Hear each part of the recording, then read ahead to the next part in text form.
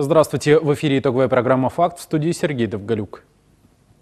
Костак сообщает, в Казахстане с 1 января на 9% будут повышены размеры пенсий. Кроме того, со следующего года в республике на 7% увеличатся размеры социальных выплат из Государственного фонда социального страхования на случай утраты трудоспособности и потери кормильца. Костак сообщает, в Алматы суд обязал экологический союз Табигат опровергнуть распространенные сведения о вырубке деревьев в городе и провести пресс-конференцию в Национальном пресс-клубе. Опровержению подлежат фразы, указанные Экосоюзом Табигат в своем пресс-релизе, а именно все списанные деревья были абсолютно здоровые, никому не мешали. Небольшая группа мерзавцев делает бизнес на уничтожении деревьев и другие. Во взыскании с Экосоюза Табигат 15 миллионов тенге в счет возмещения морального вреда управления природных ресурсов ресурсов судом было отказано. Напомним, 5 ноября на пресс-конференции Мелс Елеусизов заявил, что вырубка деревьев в Алматы ведется в интересах компании, производящей древесные гранулы для отопления. По данным Интерфакса, группировка космических аппаратов Казахстана в 2014 году должна пополниться двумя спутниками. На 30 апреля с космодрома Байконур намечен пуск ракеты «Протон-М» с разгонным блоком «Бриз-М», которая должна будет вывести на орбиту два спутника «Российский луч-5В» и казахстанский спутник «Кассат-3». В первой половине 2014 года, ближе к лету, с космодрома Дамбаровский в Оренбургской области намечен провести пуск ракеты «Днепр» с казахстанским спутником дистанционного зондирования Земли КАЗ-ИО САТ-1. На сегодняшний день Казахстан располагает одним космическим аппаратом – телекоммуникационным КАСАТ-2, выведенным на орбиту в июле 2011 года. Интерфакс Казахстан сообщает, прощание с народной артисткой СССР Розой Джамановой пройдет в Алматы в Государственном академическом театре оперы и балета имени Абая 30 декабря. Оперная певица скончалась в ночь на пятницу в Алматы на 86-м году жизни. Джаманова окончила Институт искусств в Алмате в 1954 году по классу пения. В трудовой книжке певицы зафиксирована всего одна запись. С 1953 года солистка Казахского театра оперы и балета имени Абая. О том, что сегодня произошло в нашем городе, вы узнаете сразу после рекламы. Не переключайте. Продолжим выпуск. Отчаянным любителям рыбной ловли сегодня вновь понадобилась помощь спасателей. ЧП случилось во второй половине дня на акватории Актюбинского моря в районе Алги. Тонкий лед, подмываемым течением, не выдержал нагрузки, и в результате чего две машины оказались в подледном плену. В обоих салонах находились пассажиры, двое из которых пенсионного возраста. На место для оказания немедленной помощи пострадавшим выехали водно-спасательные бригады областного департамента ПЧС. До настоящего времени спасательные работы продолжаются. Никто не пострадал. Пока это вся информация с более точными сведениями. Мы познакомим вас завтра в дневном выпуске информационной программы. С нового года повысится стоимость попутного газа. Также может подорожать электричество. Как отметили в Актюбинском производственном филиале «Кастрансгаз Аймак», с 1 января 2014 года тарифы на голубое топливо повысятся примерно на 40 тенге. Что касается электроэнергии, то пока монополист лишь заявил о своих намерениях повысить стоимость этого вида коммунальных услуг на 7%. Эта заявка пока еще не удовлетворена. При этом в обоих случаях причиной повышения тарифов называется удорожание услуг по транспортировке газа и передаче передачи электроэнергии сетям. С 1 января 2014 года э, повышается тариф на товарный газ. Э, это связано с увеличением цены э, по транспортировке товарного газа по магистральным газопроводам. Данную услугу оказывает акционерное общество «Интергаз Центральная Азия». Увеличение в среднем как почитали наши плановики, э, составляет примерно 39 тенге, 36 тиинов э, для тех, кто, э, у кого не установлен прибор учета газа. Меморандум о стабилизации цен на продовольственные товары сегодня подписали предприниматели с местной исполнительной властью. Согласно соглашению, в таких торговых точках, как Анвар, Дина и Сапа-маркет, некоторые виды продукты будут реализовываться с 10% торговой надбавкой и не более. Обо всем подробнее расскажет Эльмира Ержанова.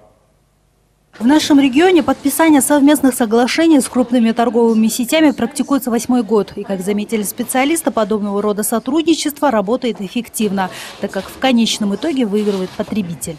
Преимущество вообще нашего региона в том, что у нас в каждом микрорайоне города имеется супермаркет, будь это Анвар, Дина, Метро, Улжа.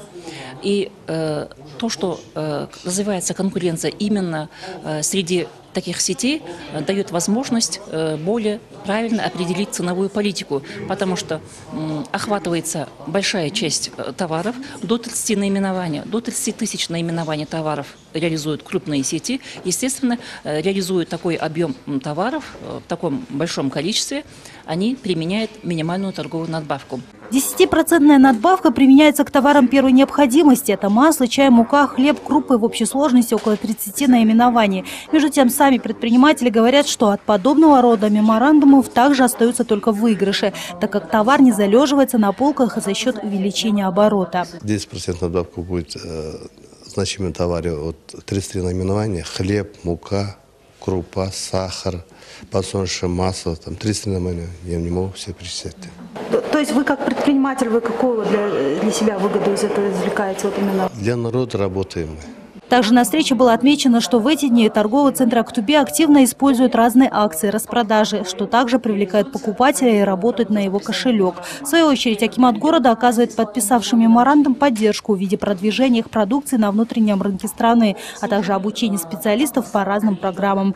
Кроме того, организован конкурс «Керемет». Его итоги подведут в конце января. А главной целью его проведения является стабилизация цен на рынках. Принимается во внимание и культура обслуживания кассирами клиентов. Эльмира Ежанова, Марат Акажанов, программа «Факт». Сегодня в Актубе завершилось оперативно-профилактическое мероприятие «Правопорядок». Блюстители общественного порядка, которые в течение нескольких дней работали в усиленном режиме, зафиксировали свыше 100 преступлений. Из них почти половина раскрыта по горячим следам. На особом контроле в период ОПМ находились увеселительные заведения и места массового скопления людей. В ходе проведения оперативно-профилактического мероприятия на территории области было зарегистрировано 126 преступлений, из них 65 э, раскрыто по горячим следам. 46, э, раскрыто 46 ранее совершенных преступлений, а также задержано 8 преступников, находящихся в розыске. Выявлено более 3000 административных правонарушений, в том числе особо грубых нарушений по линии дорожной, дорожной службы. Это управление транспортом в нетрезвом состоянии более 200 фактов и выезд на полосу встречного движения более 100 фактов. Полицейские отметили, что в следующем году уровень раскрываемости преступления значительно возрастет. В этом стражам порядка поможет умная техника. Интеллектуальные камеры видеонаблюдения в количестве 70 штук в настоящее время устанавливаются на оживленных перекрестках Актубе и заработают уже через несколько дней. По словам Вячеслава Бекмуханова, современные аппараты будут фиксировать даже самые безобидные правонарушения, вплоть до курения в общественных местах и разбрасывания мусора. Сегодня воспитанники Алгинского детского дома встречали гостей. С наступающим Новым годом детей поздравил Аким Актюбинской области. Ребята к приезду гостей подготовили концертную программу, после чего Аким вручил детям подарки. В Алгинском районе сегодня состоялось еще одно знаменательное событие. Аким также посетил открытие мемориального комплекса имени Исет Батыра в Бестамаке. На мероприятиях побывала Айшат Ибрагимова. С самого утра в Волгинском детском доме готовились к приезду гостей. Вот уже третий год подряд Архимед Мухамбетов в канун новогодних праздников посещает детский дом с поздравлениями и щедрыми подарками. Своими силами ребята подготовили концертную программу, спели песни и в свою очередь поздравили Акима. В нашем доме сегодня необычный праздничный день. К нам приехал Аким области Архимед Бегижанович. Каждый год Архимед Бегижанович не забывает нас, детей детского дома поздравляет с Новым годом и радует подарками.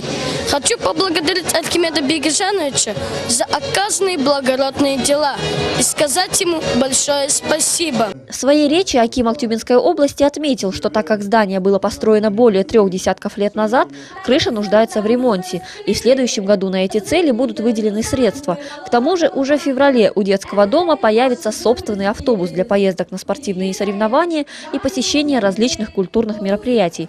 Такому подарку к Новому году руководство детского дома и сами дети были рады. На 1 февраля у вас будет новый автобус, который действительно э, вам будет помогать и на спортивные соревнования выезжать, и на творческие мероприятия, культурные мероприятия выезжать. Я думаю, от этого только будет хорошая помощь.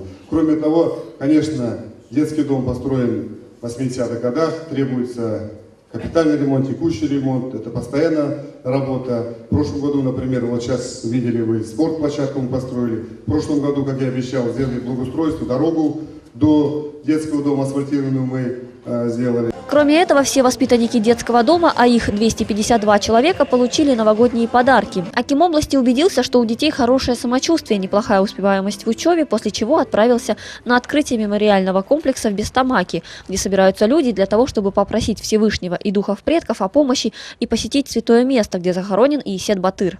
Комплекс рассчитан на одновременный прием 250 человек, где люди могут получить ночлег и в специально отведенном для этого месте провести обряд жертвоприношения.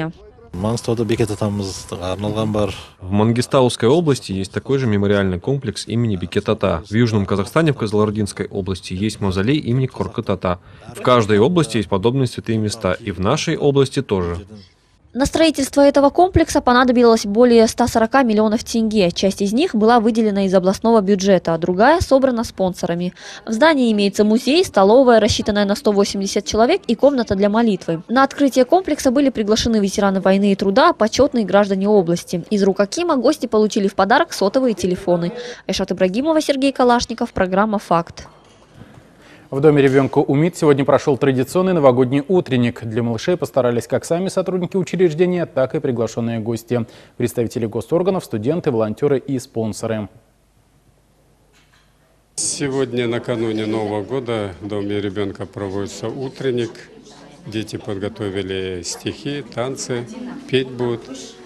Да, Поздравить наших детей пришли гости из других организаций, с э, мегацентра технодома, с отдела полиции, студенты университетов и колледжа. Они принесли детям подарки, будут поздравлять. У малышей сегодня праздник. Нарядные в новогодних костюмах они пришли на утренник. Встретиться под елкой с Дедом Морозом и Снегурочкой. Подарить им стихи, песенки и танцы. И, конечно, получить подарки. Правда, за ручку их привели сюда не мамы, а воспитатели. Как известно, об этих детях временно заботится государство.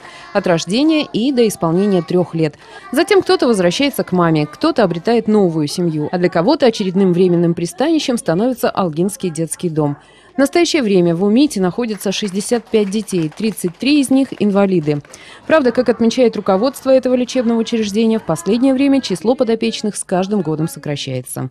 По сравнению с прошлым годом количество детей уменьшилось вдвое. В связи с чем? Это связано с тем, что меньше поступает и больше усыновляет детей. Ирина Гульц, Алексей Уразов, программа «Факт».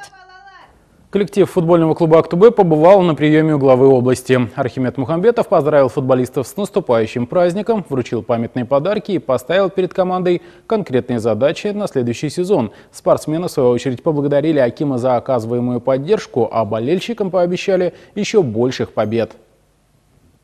2013 год для кумиров тысяч актюбинцев выдался тяжелым и насыщенным на события. В начале года у руля четырехкратного чемпиона Казахстана стал Владимир Никитенко, в прошлом сезоне тренировавший Козлординский Кайсар. С ним команда вновь доказала, что она лучшая.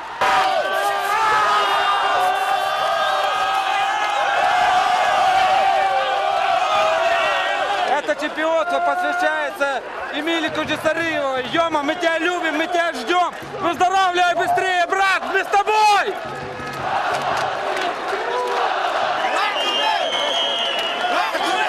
Летом клуб лишился одного из ключевых игроков, полузащитника Эмилия Кинжисариева. На молодого спортсмена было совершено нападение в Алматы, где он проводил выходные. Недавно Актубе по причине завершения срока контракта покинул и его коллега Марат Бекмаев. Узбекский футболист Тимур Кападзе по итогам года был признан лучшим игроком-легионером сезона 2013, а Андрей Сидельников – лучшим голкипером. В следующем году мы будем участвовать в турнире, в самом элитном турнире э, по футболу.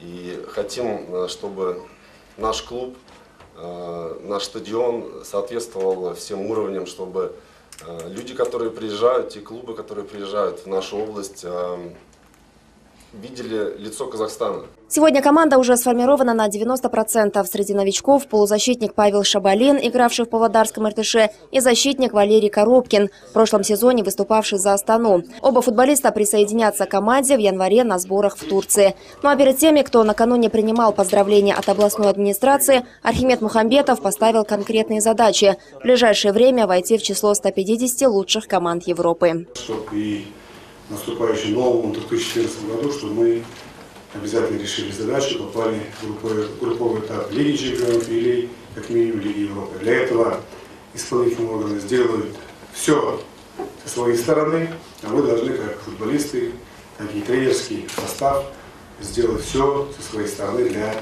достижения данной э, задачи. Глава области поздравил футболистов с наступающим Новым годом, пожелал беречь здоровье и вручил памятные подарки. Часы вот на память, тоже золотым оттенком. Здесь вот написано Ахтюру области Акумнен. А таким Активной области, чтобы осталось на память. Э, Кто-то может в другой команде когда-то будет играть, или в другой стране будет играть, что вы всегда эти часы носили. Оно будет напоминать вам о вашем чемпионстве в год столетия казахстанского футбола. Спортсмены, в свою очередь, поблагодарили Архимеда Мухамбетова за оказываемую поддержку, а болельщикам пообещали еще больших побед. У нас всегда самые высокие цели. У нас всегда только добиваться самых высоких результатов. Это первое место. Войти в группу э, в Лиге чемпионов, в Лиге Европы, э, завоевать кубок страны. У нас всегда самые высокие. Во всех направлениях всегда стремимся только быть первыми. Айсула Махмутова, Жаслан Джубаев, программа «Факт». Это все новости к данному часу. Я с вами прощаюсь. До завтра.